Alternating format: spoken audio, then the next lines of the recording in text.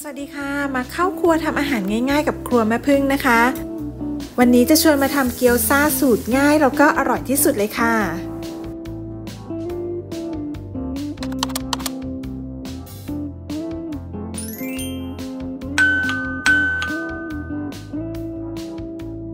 สูตรนี้เราจะใช้หมูสับประมาณ 200 กรัม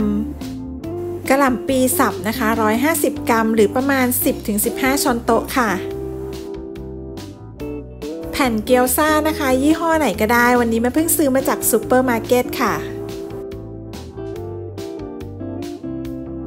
ส่วนซอสปรุงรสนะคะแม่ผึ้งจะใช้เป็นโชยุญี่ปุ่น 1 ช้อนโต๊ะ จะมีความหอมเข้มข้นนะคะ แล้วก็ไม่เค็มจนเกินไป ใส่น้ำมันหอยค่ะ 1 ช้อนโต๊ะ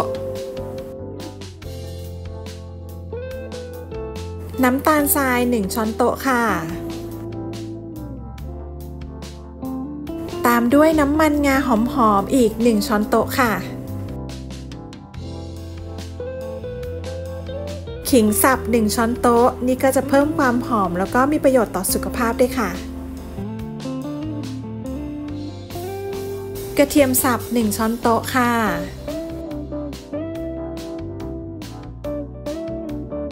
แป้งข้าวโพด1ช้อนโต๊ะนะคะ จะช่วยให้หมูค่ะเกาะตัวกัน แล้วก็มีความเหนียวนุ่มอร่อย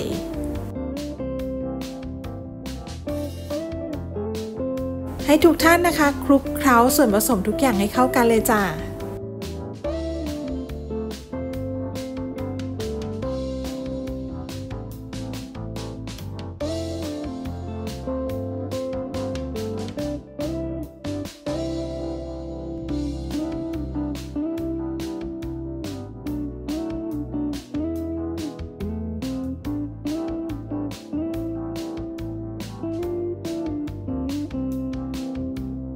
ต่อมาเราก็จะใส่กระหล่ำปีสับลงไปค่ะ กระหล่ำปีนะคะมีความหวานแล้วก็มีความกรอบในตัว จะทำให้ไส้ของเกี๊ยวซ่าเนี่ยค่ะ อร่อยยิ่งขึ้น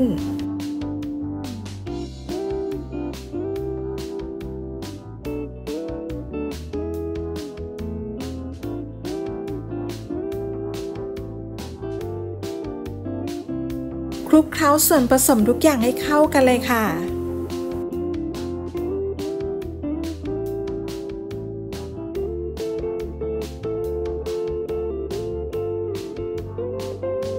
นี่ค่ะเราก็จะได้ไส้เกี๊ยวซ่านุ่มๆ เด้งๆ น่าทานแบบนี้ โรยด้วยนะคะ ต้นหอมซอยลงไป สีสันสวยน่าทานมากยิ่งขึ้นเลยค่ะ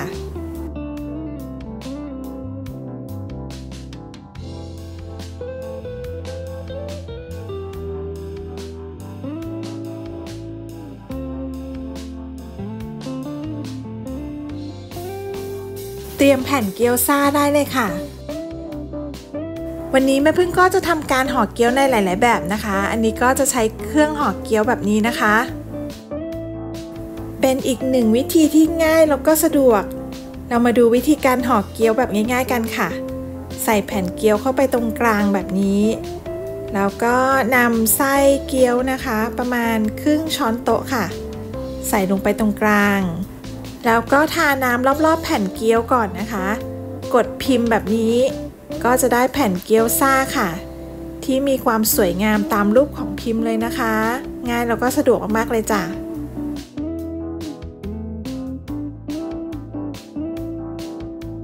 ข้อดีของการใช้พิมพ์ห่อเกี๊ยวซ่าก็จะได้เกี๊ยวซ่าที่มีรูปทรงสวยงามค่ะ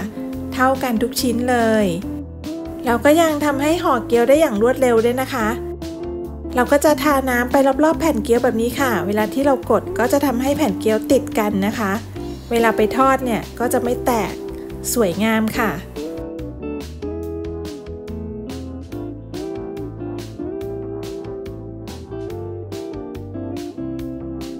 เมื่อเราห่อเกี๊ยวเสร็จแล้วก็ให้ทุกท่านนะคะนำไปเก็บไว้ในกล่องค่ะ ที่มีฝาปิด จะทำให้แผ่นเกี๊ยวซ่าไม่แห้งไม่แข็งนะคะ เก็บไว้ได้นานเลยค่ะ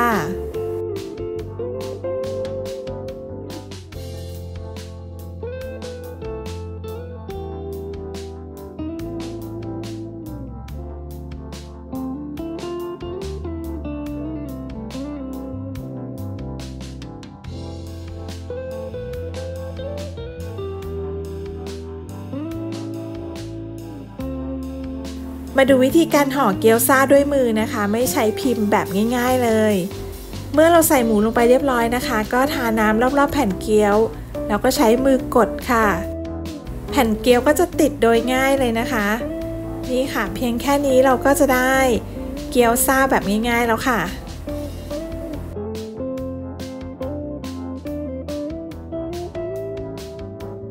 หรือถ้าอยากจะทำเป็นจีบเกี๊ยวซ่านะคะ เราก็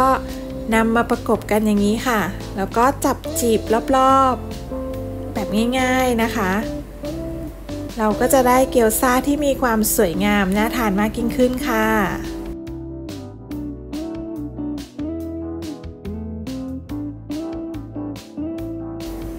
ต่อมาเราก็จะนำเกี๊ยวซาไปทอดนะคะ เราก็จะใส่น้ำมันลงไปในกระทะเล็กน้อยค่ะ แค่ให้พอเคลือบกระทะ นี่ค่ะเกี๊ยวซ่าที่แม่พึ่งได้ห่อเอาไว้ น่าทานมากๆเลยค่ะ ให้นำไปจัดเรียงในกระทะแบบนี้นะคะ ให้เต็มกระทะเลย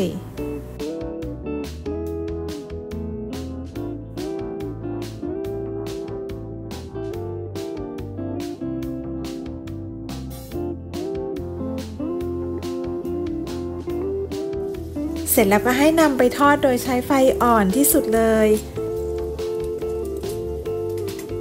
ขย่าเขย่าเล็กน้อยนะคะ เพื่อไม่ให้เกี๊ยวซาติดกระทะ ให้ทอดด้วยไฟอ่อนไปเรื่อยๆ ค่ะ จะสังเกตได้ว่าเกี๊ยวซาก็จะมีสีเหลืองทองนะคะ มีความกรอบแบบนี้ วิธีการทอดแบบนี้นะคะ รับรองความอร่อยเลยค่ะ กรอบนอกนุ่มใน พอทุกชิ้นเป็นสีเหลืองกรอบแล้วก็ให้เทน้ำใส่ลงไปนะคะ ประมาณครึ่งหนึ่งของเกี๊ยวซา แล้วก็ปิดฝาอบไว้ค่ะ เป็นเวลา 4-5 นาที ไอ้น้ำนะคะก็จะทำให้เกี๊ยวซ่าด้านบนค่ะ สุกแล้วก็มีความนุ่ม ส่วนด้านล่างก็จะมีความกรอบอร่อย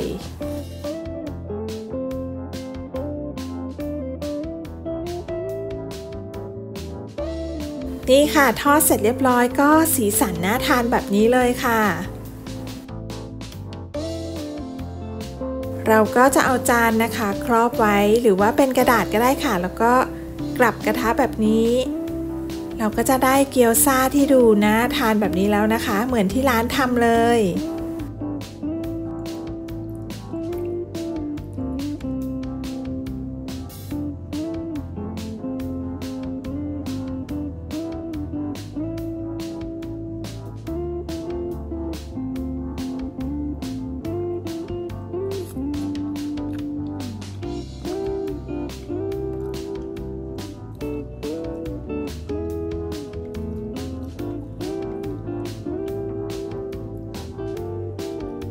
เกี๊ยวซ่าสูตรง่ายที่สุดมาลองทำกันนะคะ อย่าลืมกดติดตามครัวแม่พึ่งแล้วมาพบกับเมนูใหม่ๆ อร่อยๆ ทุกๆวันเลยค่ะ